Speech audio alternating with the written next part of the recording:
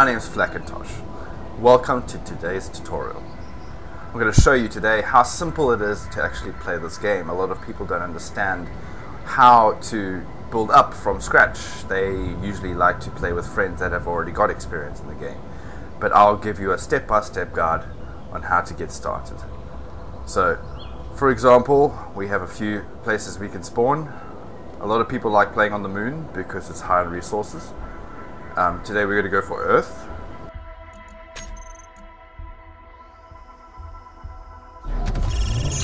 If you guys haven't subscribed, please subscribe to my channel. It'll be great to have some input from you guys as well if you want to leave some comments in the description below. Okay, so this is our drop pod, okay? If you hold down Alt while you're inside the drop pod, you can actually look around and you can see what's around you while you're in your seat, in case some of you didn't know that. It's also one of the things you can do in most survival games. Uh, v for vector is to change view. So if you want to see outside your character, press V, and then you hold down Alt and mouse scroll if you want to zoom in and out. Okay, so your main thing that's going to help you is your survival kit. That's this big guy here. Alright? So we need to get ore so we can throw it in here. So you got to select your drill. Okay. Left mouse allows you to drill through the, the, the ground. Right mouse allows you to plow through the ground but not collect. So let's find some ore. I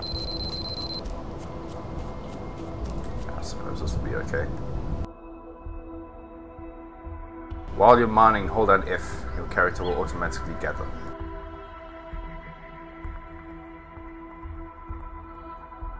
Press L for Lima.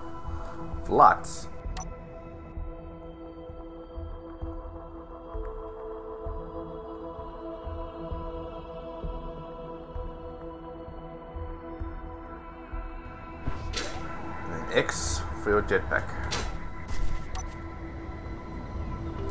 See when you press X, it activates your jetpack from the back.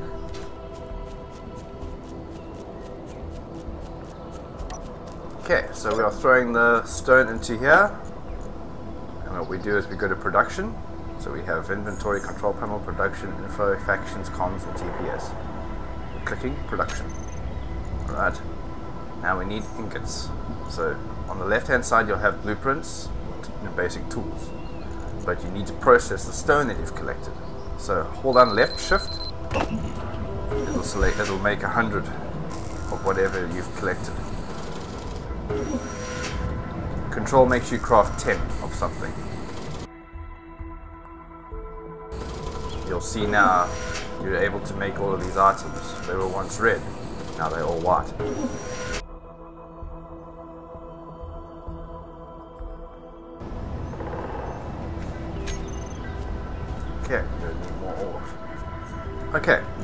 Gone through all that stone, now we go to production. And we want to get some foundations going. So let's get steel plate going. Uh, let's make a hundred. If you click once, it'll add one. If you press control and you click, it'll add 10. If you hold down shift and click, it'll add 100. If you guys see now, I've got an unknown signal on my HUD. Those can contain a lot of nice goodies. But sometimes they're tricky. Some of them have thrusters on them that they fly away from you whenever you get too close. Some of them have a, a sensor on them that they roll away from you, you know, when they get too close to you.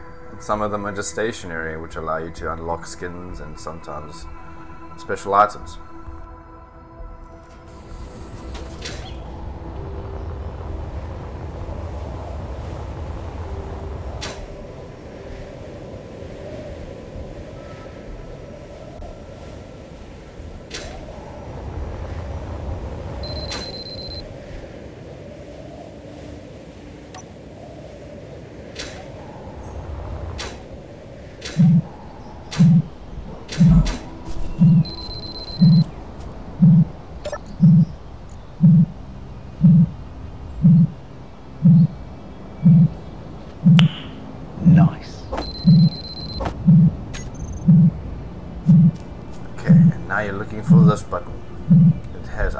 Signal on it. So you just press F.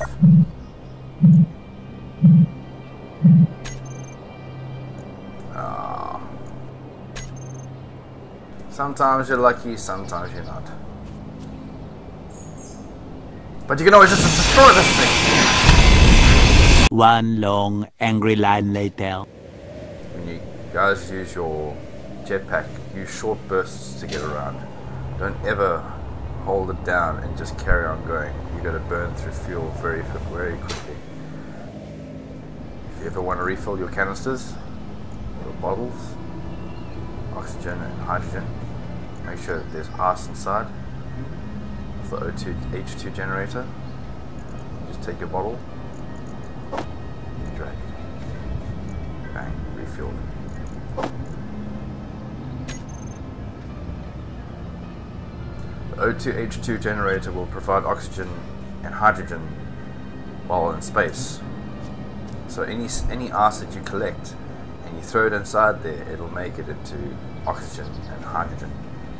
You can also use the O2H2 um, generator to refill your hydrogen tanks and oxygen tanks. Okay, so now we've got some metal. Now we can build a foundation. Use insert, home, page up, page down, end, and delete to, to rotate your, your blocks. If you don't want to do that manually, you can always just snap it to the ground by pressing B. As you can see, it'll snap to the ground. But uh, this is a bit messy, so let's select it again. So you push the same number again. So at 4 we'll select the small size, and the same number we'll select the big size. Some blocks don't come in large and small sizes, so you have to make do with what you have. For example, a cryo fridge, or a stasis, cryostasis chamber. That, unfortunately, is only on the large blocks.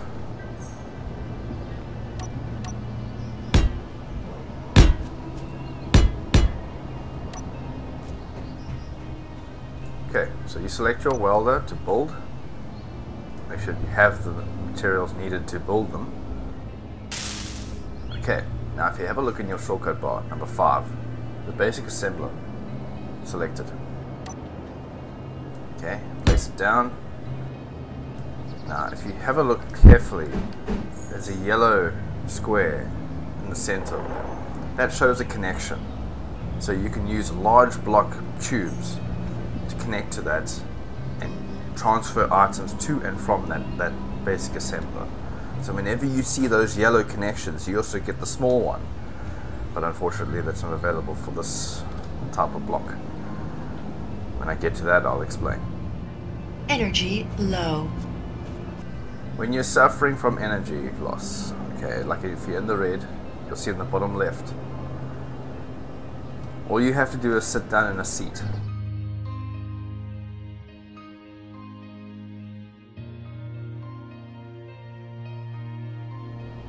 Space credits are used for trading and buying things from the NPCs.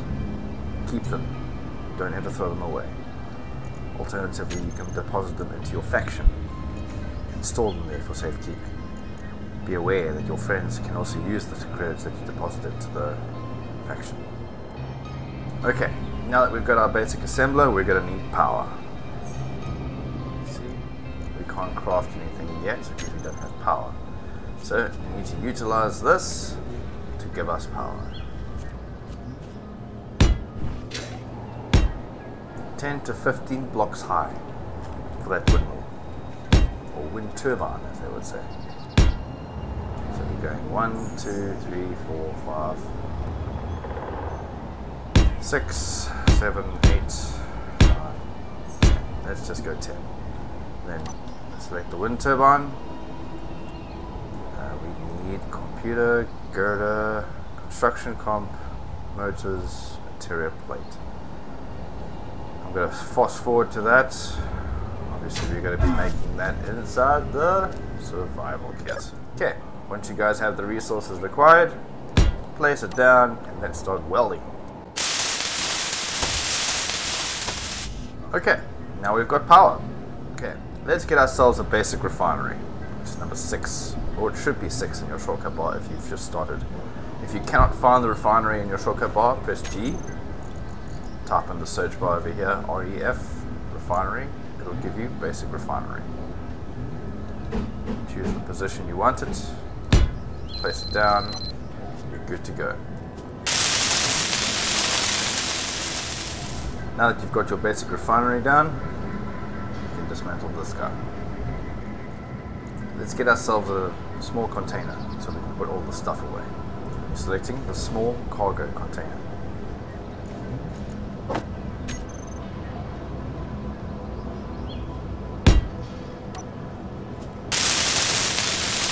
can still access your basic assembler from your storage. So what you do is you go to production, make what you need to make. Obviously the resources must be in the storage.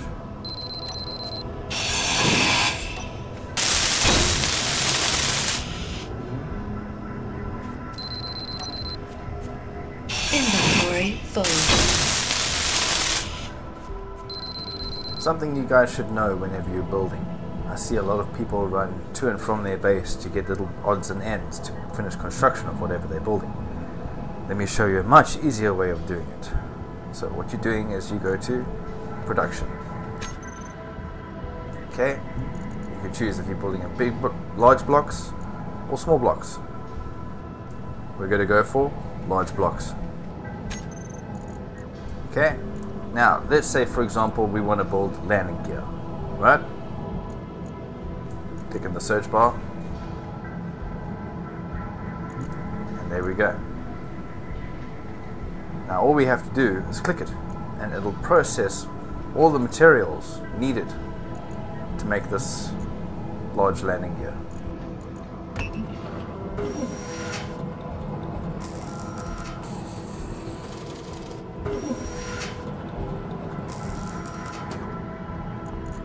And there you have it. Now to access this, you can't take it out of here. As much as you click, you can't take it out. You have to go all the way here. Inventory. Click that.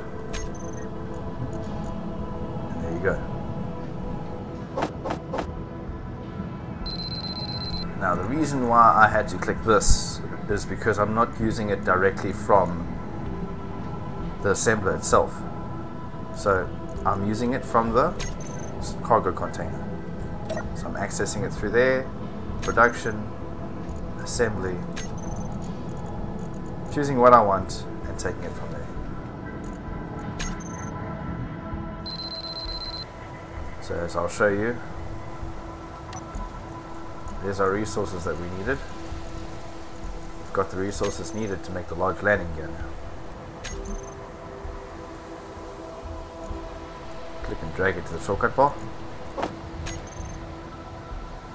Press 4 again, or whichever number you chose to have it, change the size to the large one.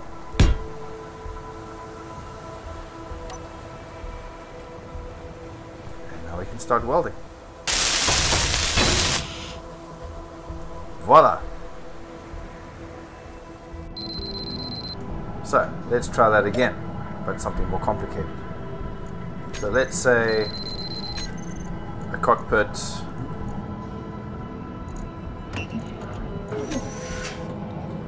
an O2 H2 generator.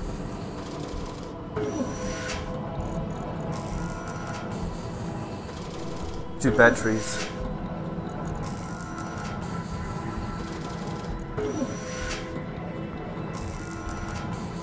And a large thruster.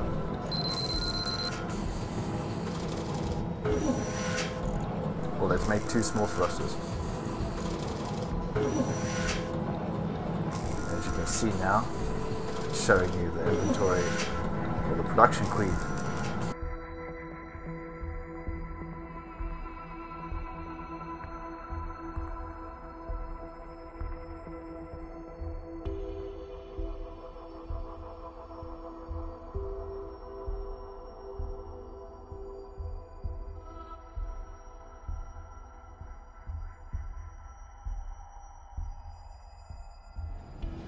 Okay, let's gather up all of our resources. Whenever you build something, always remember to build it on solid land. Use the, the armor blocks to get height and stability, and then when you finish with the construction, you can just break these down. And your ship should hopefully float. If not, it'll just fall to the ground.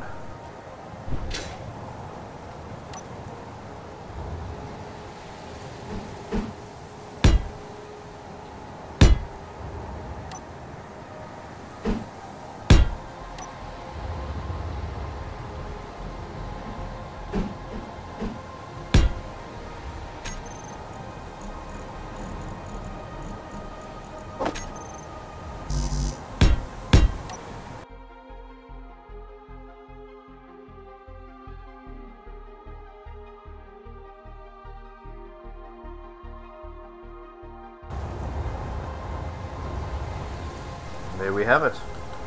Everything we needed to make a small ship. Although that's not really going to fly, is it? it's just an example for you guys. I got a request from a friend to show how to build underground and survive underground. First of all, you're going to need power, lots of it, because you cannot generate power from underground. Light or you need wind. So I've taken the liberty of digging a nice little cave slash hole over here it's got enough space to build in and hide in. So now we need to connect that to this area now. I am in creative mode at the moment, but this is just to show you guys that it is possible to indeed live underground. I'm just using basic blocks.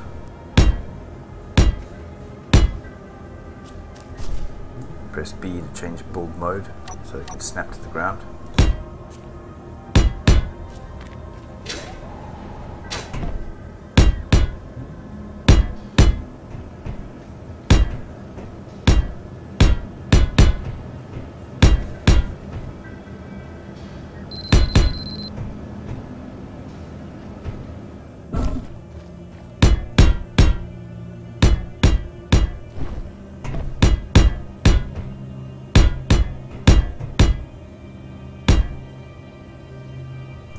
Yourself a ladder or something that you can climb up if you don't have hydrogen to use your jetpack.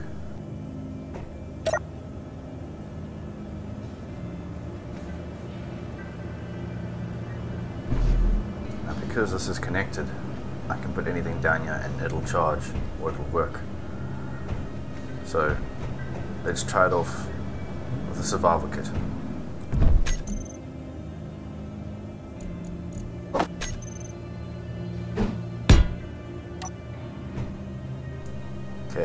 The energy.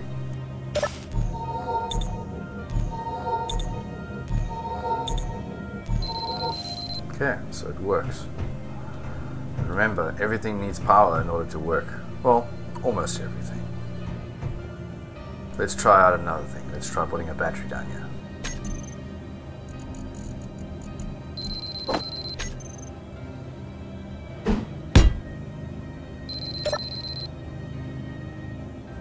Fully charged in 49 minutes. Set it to recharge.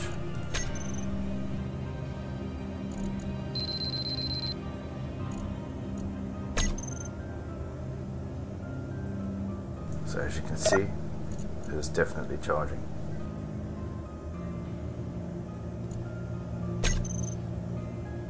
That's how simple it is to live underground. But just remember something. Just because you're building underground doesn't mean people won't find you. It's only a matter of time. Thanks for watching, guys. Good luck out there.